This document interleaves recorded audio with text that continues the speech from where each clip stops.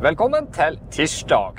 Klokka er 11.25, og vi ligger på 80 km i timen på cruisekontroll.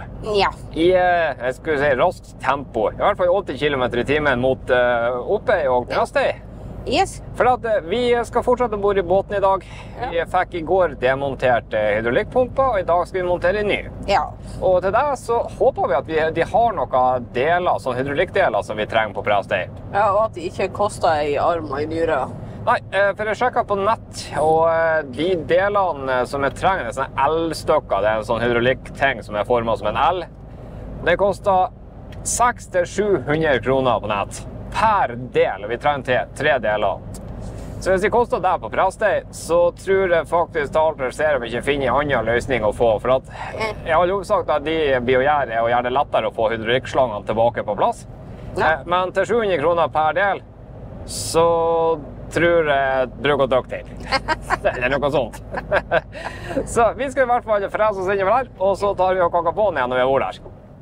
Klokka er blitt 13.30. Ja. Og etter eksepsjonelt hullete veier, så, så er vi klare til å komme oss om bord i båten. Ja. Det er vi. Vi var nede på um, Prestøy på Skjell. De hadde selvsagt ikke de delene som vi trengte, eh, men vi tror vi skal få det til. Sånn, sånn som det er. Ja. Altså, man vet jo ikke. Vi vet ikke før vi har prøvd. Eh, i, det, altså det var I beste fall så hadde de de delene som vi trenger. Eh, I verste fall så tar vi en patent, hjemmelaga patent, og så får vi det til. Eh, det som er utfordringen her, er at de hydraulikkslangene er jo litt stive og sånt, og det er litt kort. Så det er ikke bare bare å få bøyd de til og passe, for at på den gamle pumpa så stakk de i én retning, og nå må de stikke i en annen retning. Men vi tror vi skal klare å få det til. Men Ja. finner vi ut når vi er kommet oss om bord, så la oss eh, hoppe oss i det, og så kaker vi på den igjen. Vi kom oss om bord i båten. Her kommer vi ned i lasterommet her igjen, og det er 7,5 plussgrader ute. Men iskald vind, selvsagt. Ja. Men det er langt varmere enn det var i går. ja I går tror jeg det var bare tre grader pluss iskald kald vind. Ja, jeg tror det var noe sånt.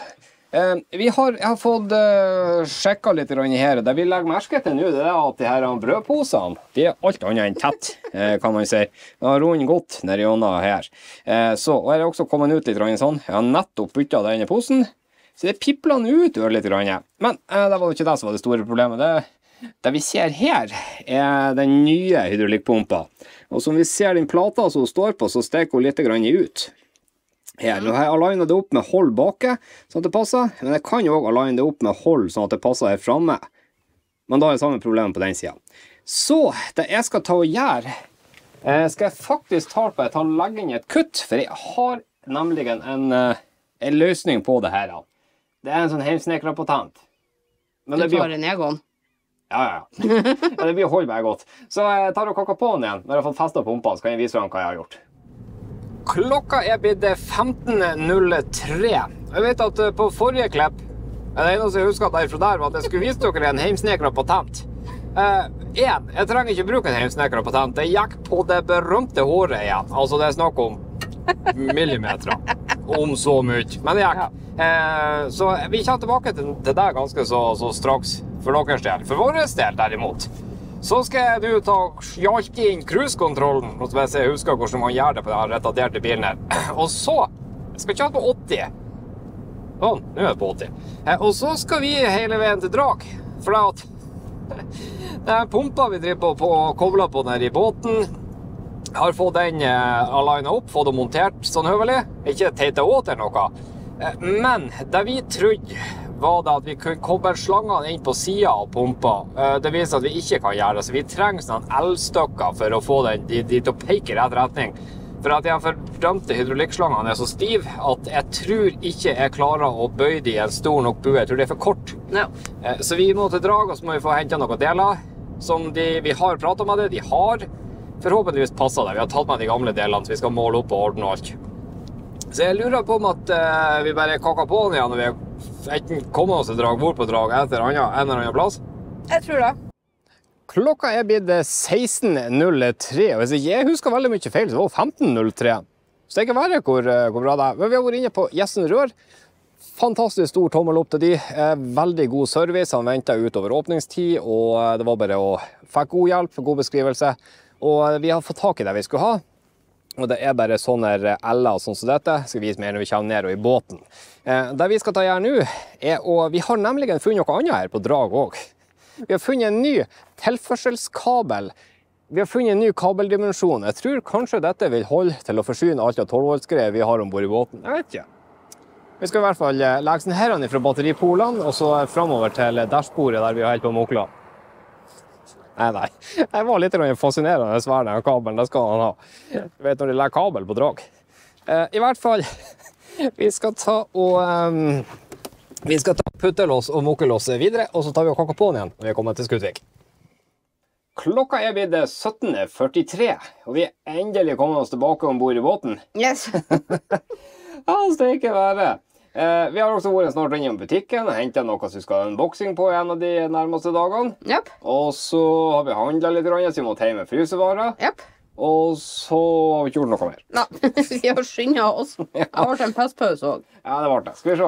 Eh, hva var det jeg prata om for noe at jeg skulle vise dere? Eh, det, det, går lang tid mellom klippene her. Men eh, de, de, som står på her, de herrene, eh, det, det, er snakk om at det er en millimeter som holder her. Men det er ikke så steikende farlig, for det er ikke noe veldig kraftig mekanisk påvirkning av pumpa. Så lenge jeg får klemt det ned her og klemt det ordentlig godt fast, eh, så går det bare bra. På andre sida så er det krutende godt. Så, hva var det vi eh, trente de herrene til? Jo, eh, uten at Anne er her nede og holder, holder kameraet, så er det litt vanskelig å illustrere det. Men istedenfor å ha koble hydraulikken rett på Jeg skal ta av de gule her. Eh, og, og istedenfor for det, så hvis vi ser på disse, så er det en sånn bøy på de. Og den bøyen som vi ser der, er, er til den sida der. Eh, og da kobler jeg bare en sånn her inn på pumpa og så får jeg den stekende i slangen her. Og da blir det så steikende bra at det halve kunne vært nok. Ja, Vi slipper i hvert fall å bryte og bende på de her slangene noe mer enn høyst nødvendig. Ja, det er nettopp det vi slipper, eh, og det er steikende bra, for da at det hjelpes med.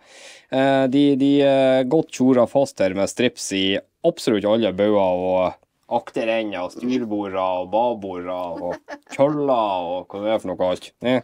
Klarte ikke å komme på noen flere der. Ah. Eh, I hvert fall, Jeg skal ta og eh, teite og her, få kobla i hop det her, og så tar vi kaka på den igjen. Ja. Flotte greier. Se det været! Jeg ser ikke annet. Se det været! Steike været, det var pinadø kald vind. Det var skikkelig kald vind der oppe. Skal vi se. Jeg er kommet så langt at jeg har fått återkobla her med ny pumpe. Det ser nå eh, således ut.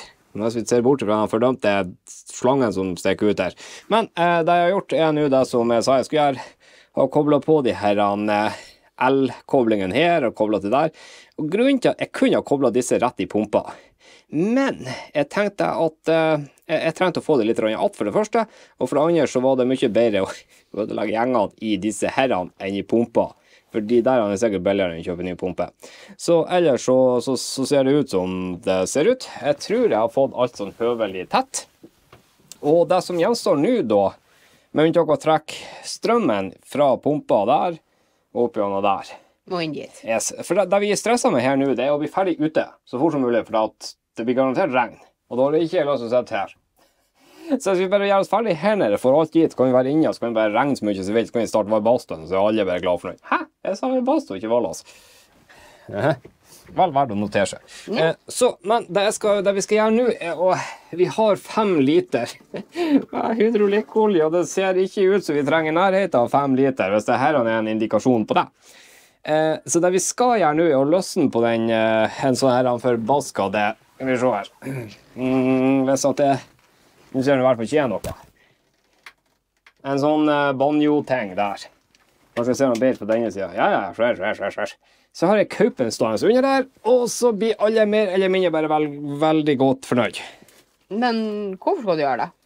For jeg tenkte å spyle gjennom systemet litt. Ja. For at det er Det var så mye Den kaupen vi har stående her nå med poser og alt mulig sånt det, det, var så mye vann i ja. Den, den herren, han var Det, det, det var bare vann. Så det var noe steikende med vann i systemet, og det skal det ikke være. Nei. Mm, så nå begynner frostvæske på der òg. Å, oh, hjelpes med klare knærne til å sette på huk her nede. Det, er bare å holde service på det med jevne mellomrom. Eh, du, jeg tror kanskje det er lurest. Litt grann tid har forløpt, og jeg står ørlite grann høyere opp enn jeg gjorde i stad. Ja. Har et trekk i neven. Vi har en manuell hydraulisk pumpe her. Jeg har et hold ned her som olja skal på. Ja. Vi har et trekk som ikke passer. For noen har det travelt, mest sannsynligvis oss, når de skal kvele ut av denne. Så vi har laga åpninga litt større, så det, det går ikke nedi her. Så prøv å gjette hva vi må gjøre. Vi er nødt til å sette oss i bilen igjen. Vi er nok det. Og så er vi nødt til å kjøre hjem. Skal jeg bare ha den trekta liggende i båten og kan stå der inntil videre. I hvert fall. Yes, Så vi, vi må hjem igjen. Men før vi skal hjem, så skal jeg ha med noe å drikke. Hvis ikke jeg frøs fast i den helsikes lasterommet og det der hjelpes med det er kaldt. ja. Temperaturen har datt til 5,4, og det er en iskald vind. ja.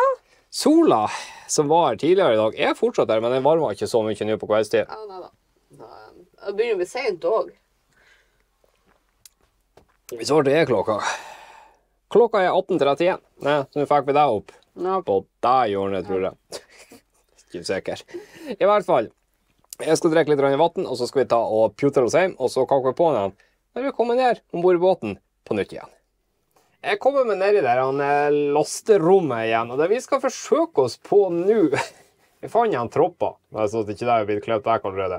I hvert fall, um, Det vi skal forsøke oss på nå, er at Anne skal bruke ei av sine hender til å Du, du, du står oppi der. Yep. Jeg skal bruke ei hånd til å holde denne trekta godt opp sånn, Yes. så at han Jørn kan slå minimalt borti henne når han snurrer på rattet. Ja, for skal du bruke den andre hånda til å kvele olje, vet du? Og så skal jeg bruke ei hånd på kameraet, sånn som dette omtrent. Og så skal jeg bruke den andre hånda på rattet. Se om den er flatere på jorda, siden han. Ja, Sånn. altså, de har jo ikke noe kjærlighet. Ja, ja, og så skal vi kveld, og det er med det her ungeren, egentlig mest bare å flushe systemet fritt for uh, vann og uhumskhet. Skal vi prøve å se om det funker? Ja, ja, ja. Skal bare kvelde etter. Nå, nå, nå kveler også det. Og stikket den var blank. Jeg håper ikke alle hvis For den olja vi har, skjønner dere, den, den ser Den er svart. Eh, Jeg er i hvert fall veldig brun. Sånn. Da holder vi. Ja, altså tar jeg og begynner forsiktig med det her og greier. Jeg har ikke lest, googla og eller researcha noe på det her og greier. Jeg har gjort det på en traktor i sin tid, men det traktoren ikke hadde, var sånn her en helsikes ratt. Jeg hadde jo ratt den òg, men det var, ikke, det var ikke på det systemet jeg, jeg drev på. Nå kjente jeg noe at det var tyngre. Um. noe som jeg skal bli. Det kommer òg lekende ut her. Lekende ut? Og over der, ja, over, ja, ja, jo, der regner jeg nesten helt med. I hvert fall, prinsipielt sett Vi trenger flere never. Vi trenger flere, flere never og eller en tripod, men eh, det er ikke så viktig. Vi skal stå her og mokle med det og greiene, og så tar vi og kaker på igjen når vi er ferdige å mokle. Ja. Ja, ja, ja, jeg tror det. Klokka er blitt 2022, vi har ennå ikke spist middag. Men vi tror vi er kommet så langt at vi har fått eh, blødd mesteparten av luft ut av systemet. ja. Det, det som skjer her nå, er at rattene begynner å bli veldig tunge, så, sånn, som de skal være. Men Du eh, snurrer der, Ja og så beveger den seg. Ja, det vil si roret beveger seg. Eh, det er ikke helt optimalt. Vi skulle nok antageligvis Inne det jeg sto og gjorde, var å la over ifra Anne trodde at det ratta så mye at, at det gjorde sånn med roret så at båten for framover. For plutselig så Hva svarte helsike det båten beveger seg for? Hurtigbåten kom inn, og så var vår båt den eneste som sletra. Sannsynligvis for at han drev på og ratta i takt med årene av hurtigbåten. Og jeg holder på å bryte nevene av meg på dette her greiene. Men her ute har jeg funnet løsning på det. Eh, Men jeg tror vi har fått blødd ut så mye luft som, som det er. Her er ikke noe, som, noe veldig mye daugang i det. At det, det er det ikke. Ørlite grann, ja. Bør vi ha på mer olje? Mest sannsynligvis.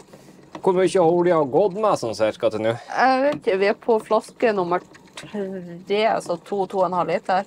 Men nå skal det sies at den første tett på literen bruker vi på å blø ut av systemet og rense opp i rørene. For fy flate og litt mer hvor mye gunk som var i de der slangene. Ja, vi har, eh, vi har virkelig eh, kjørt gjennom systemet for å få ut så mye som overhodet mulig. Og etter det åpna på den andre banjoventilen der nede, så Hørte pff. Ja, herre mann. Luft var det én ting, men det kom ut veldig mye grått. Ja. Eh, Det gjorde det. Så, men jeg syns responsivnessen er OK. Den er tilbake der den skal være. Yay! Klokka ble så mye som 20.40 i det jeg setter føttene på eh, flytebrygga. Rusla i relativt høyt tempo oppover her. I det som nå er et fantastisk fint vær, ikke et vindpust, selvsagt. Men temperaturen temperaturene har selvsagt også datt.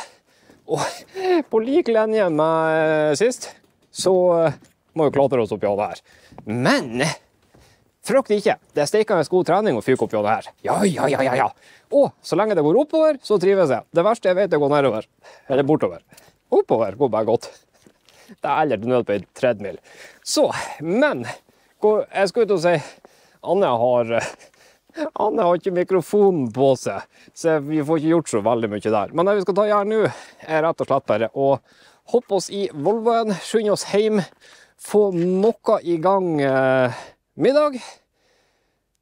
Og jeg insisterer på Vet ikke, det er selvfølgelig sola sånn, så det står sånn, så går rart det ble. Jeg insisterer på at middagen skal ta ti minutter lenger, for jeg skal ha tilbehør. Vi kakker på den igjen når vi kommer oss hjem.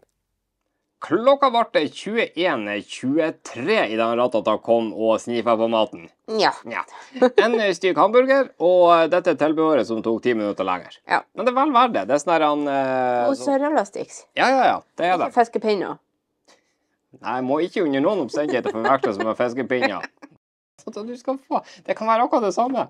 Eh, vi skal ikke bli noe mer forsinka om at jeg sitter og kjabler og babler. Eh, så jeg skal ta og gi han OK, skulle du dude og hjelpe meg? Men da må du også dude.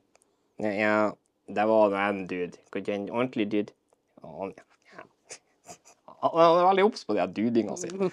Eh, hva vi skulle gjort uten de kattene der? Levd et mye billigere liv. Aha. Det en ting. Avslappa og rolig.